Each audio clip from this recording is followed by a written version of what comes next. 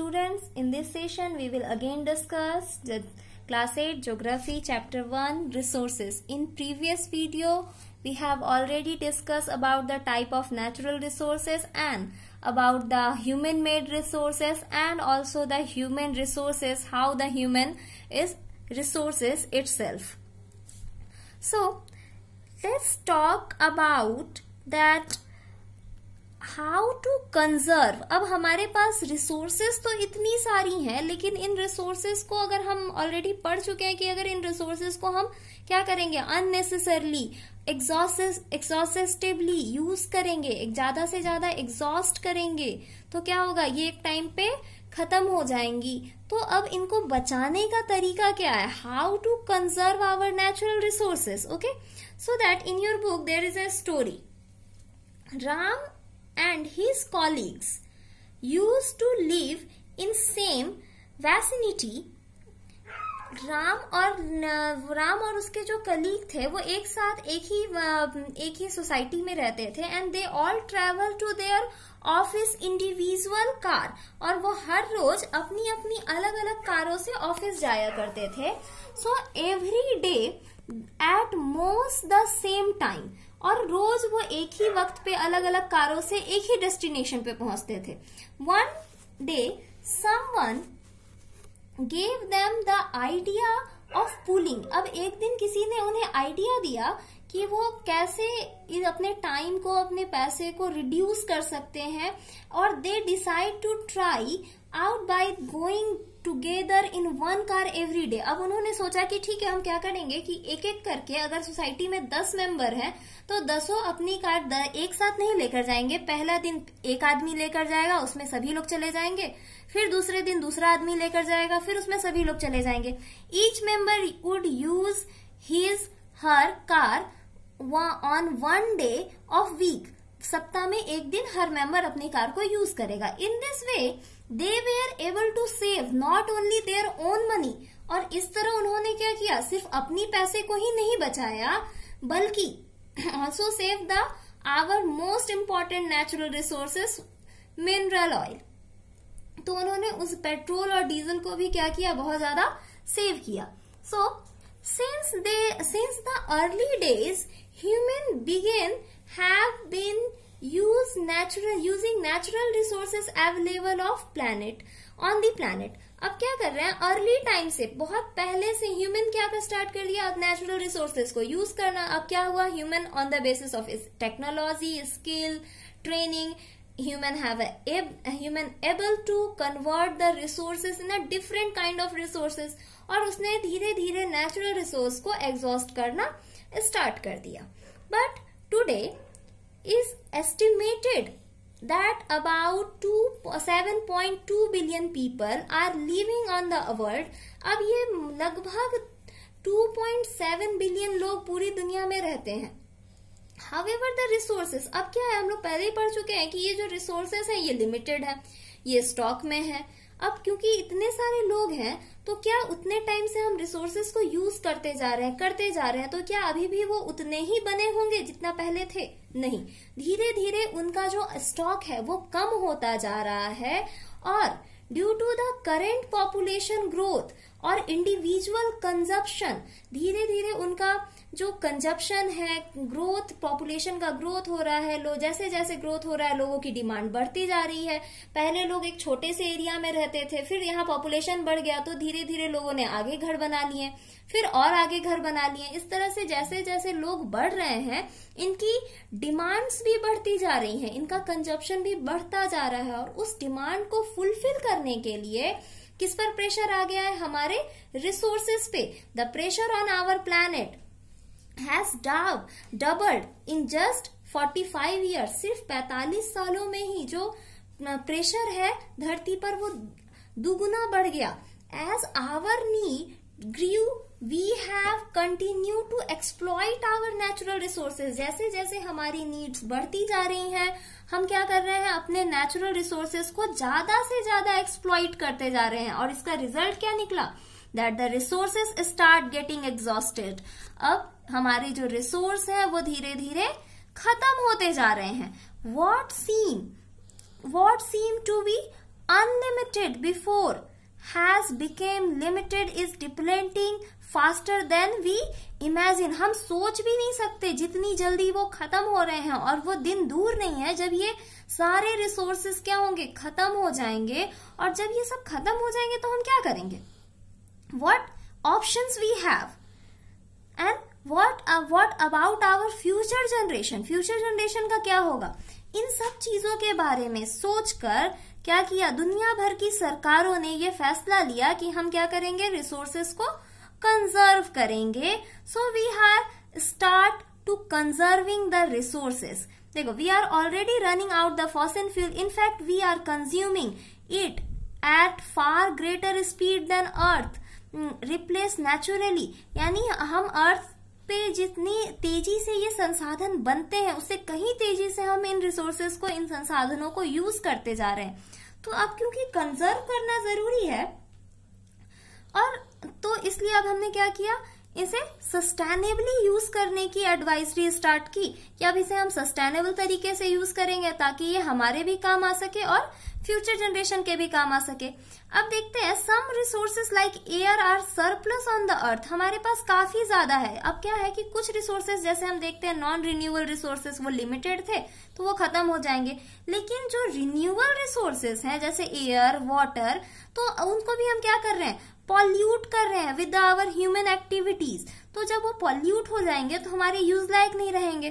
तो उनका भी यूज़ एक सस्टेनेबल तरीके से करना ज़रूरी है। और इन सब का रिज़ल्ट जो हम कर रहे हैं, हमारी जो डेली की एक्टिविटीज़ हैं, इन सब का रिज़ल्ट क्या निकला?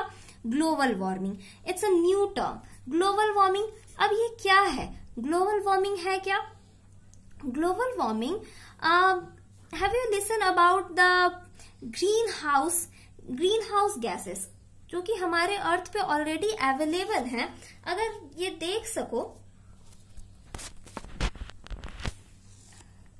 Have seen this this is a greenhouse एक minute okay this is the greenhouse अब ये क्या है? ये ग्रीन हाउस है, ये क्या करता है? सन के सन से निकलने वाली जो एनर्जी होती है सनलाइट को ट्रैप कर लेता है।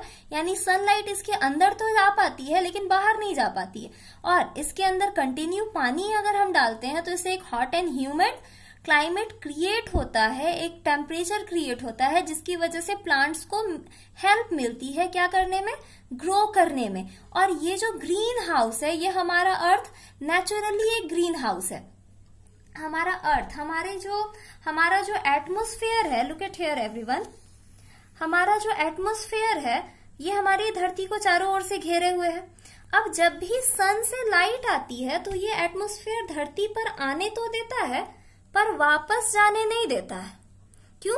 Because in our atmosphere C O two और other other hot gases present हैं जो कि ग्रीन हाउस का काम करती हैं। ये एनर्जी को ट्रैप कर लेती हैं, जिसकी वजह से रात को भी अर्थ पे गर्मी नहीं होती है और प्लांट सही से ग्रो होते हैं नेचुरली लेकिन अब ये जो ग्रीन हाउस है, क्योंकि जब ये सन की एनर्जी सन की लाइट को बाहर स्पेस में जाने नहीं देता है, उसकी गर्मी को बाहर नहीं जाने देता धरती पर ही ट्रैप कर लेता है तो सिमिलरली इंडस्ट्री से निकलने वाले जो धुआँ धुआँ है और गैसेस है और बहुत ज़्यादा गर्म गैसेस हैं, जहरीली गैसेस हैं, जैसे क्लोरोफ्लोरोकार्बन, कार्बन मोनोऑक्साइड, इन सबको भी क्या करता है?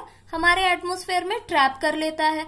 जिसकी वजह से एटमोस्फेयर क्या हो रहा है? डे बाय डे गर्म होता जा रहा है और हमारे पोल्स पे, यानी नॉर्थ और साउथ पोल पे जो आइस केप्स है या माउंटेन पे जो आइस केप है, उनके पिघलने का खतरा जो है बना हुआ है which is the global warming यानी पूरी धरती क्या हो रही है? गर्म हो रही है due to the human activity और has already started. In modern industry, factory, city and town have replaced the natural habitat of plant and animal. हमने क्या किया?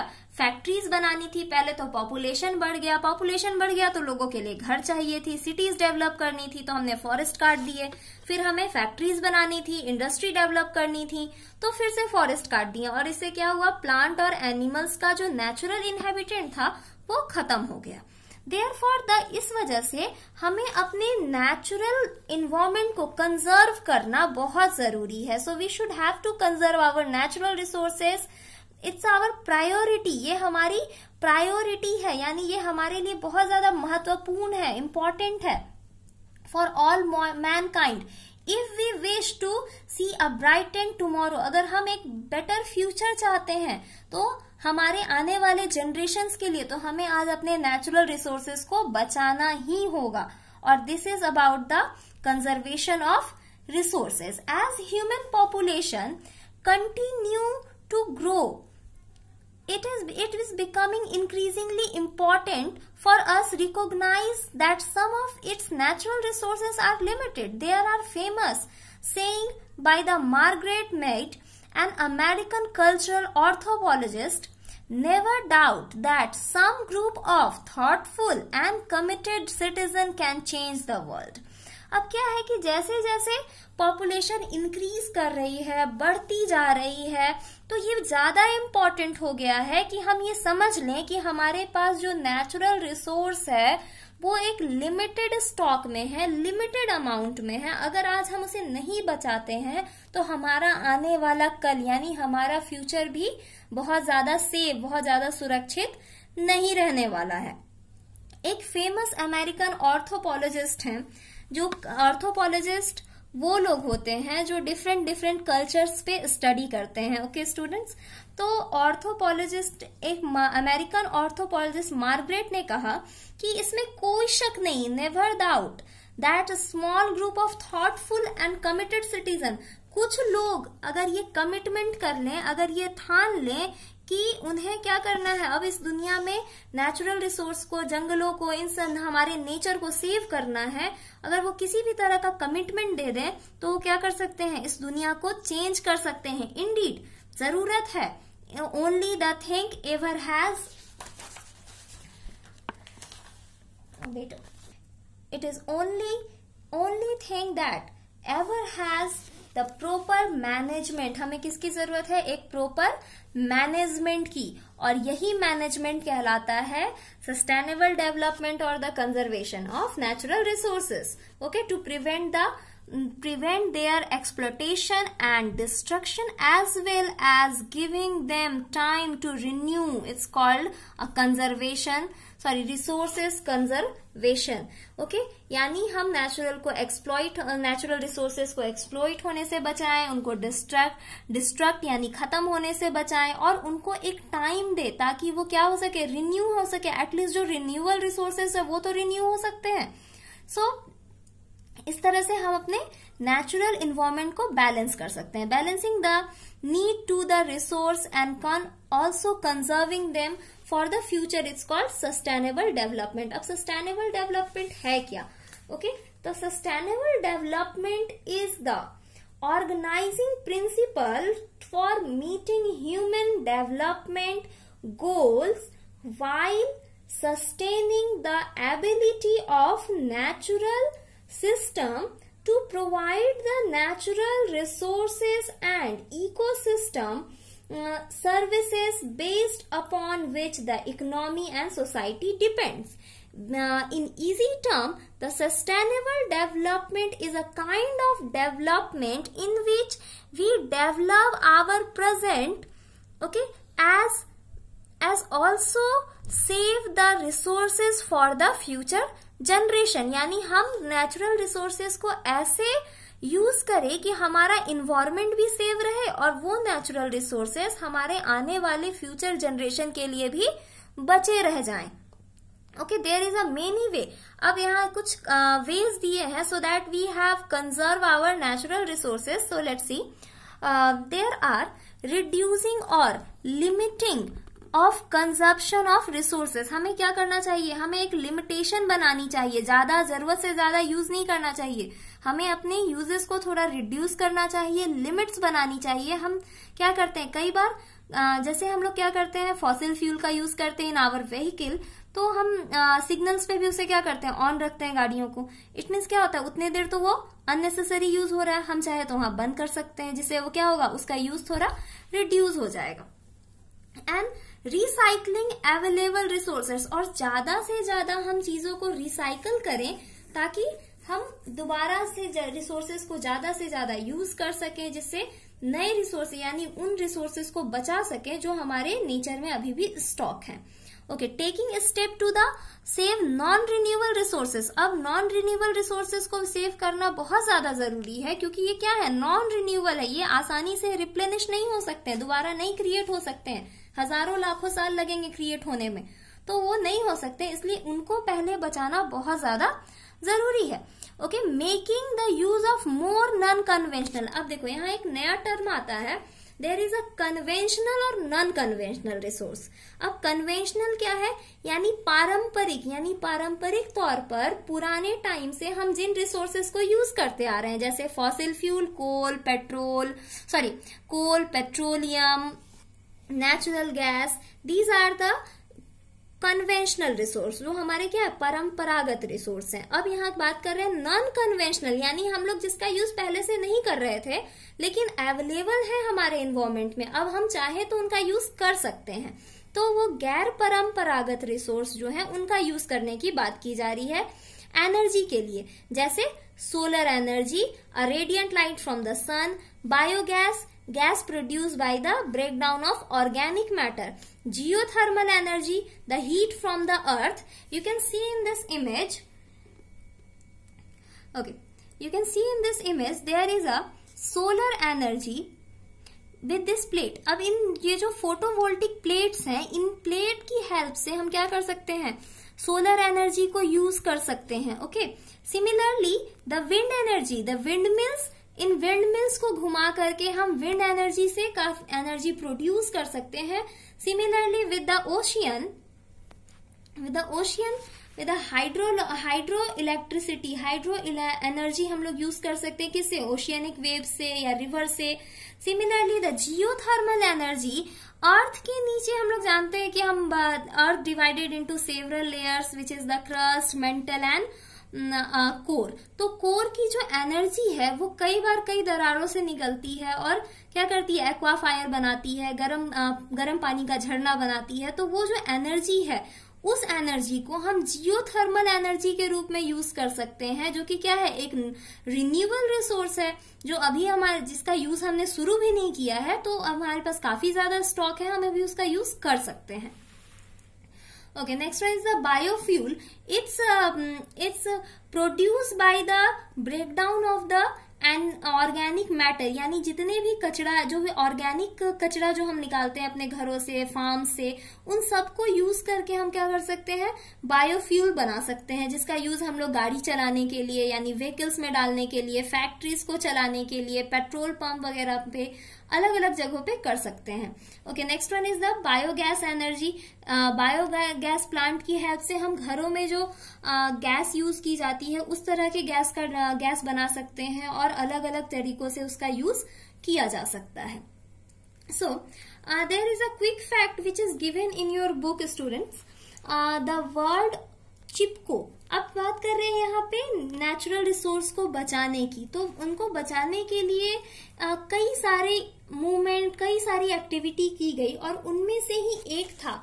Chipko movement Chipko movement is one of the movement which is specially for save tree okay it's it started in Uttarakhand by a person whose name is Sundarlal Bahuguna okay देखते हैं the word Chipko means to hug और the embrace the embrace in Hindi यानी पेड़ों को गले लगाना okay in modern Chipko movement started in the early 1970s in a Garhwal Himalaya अब Himalayan region के उत्तराखंड नाम के जगह पे गढ़वाल लोग जो थे, उनके द्वारा ये स्टार्ट किया गया।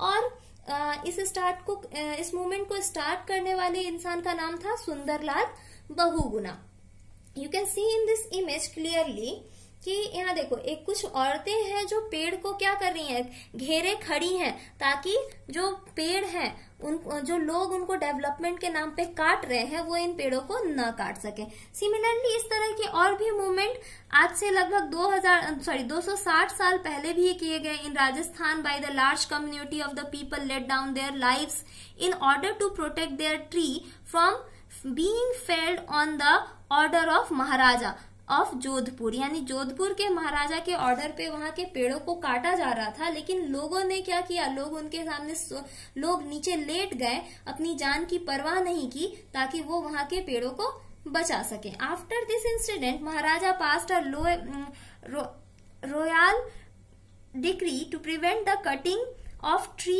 in the Bishnoi village और उसके बाद फिर महाराजा को मजबूर होकर एक एक रूल बनाना पड़ा, एक प्रोविज़न पास करना पड़ा कि बिश्नोई विलेज का कोई भी पेड़ काटा नहीं जाएगा। Okay student with this this chapter resources is completed so now for today's homework you have to make a poster. Okay, make a poster with available thing at your home okay take any page any page जो भी तुम्हारे पास हो any page and make a poster on save resource save earth with crayons and available material at home कुछ भी बाहर से लाने की ज़रूरत नहीं है। आपको जो भी आपके घर में अवेलेबल है, उनसे, उन चीज़ों से इस पार्टिकुलर पोस्टर को आपको बनाना है। Save the resource and save the earth okay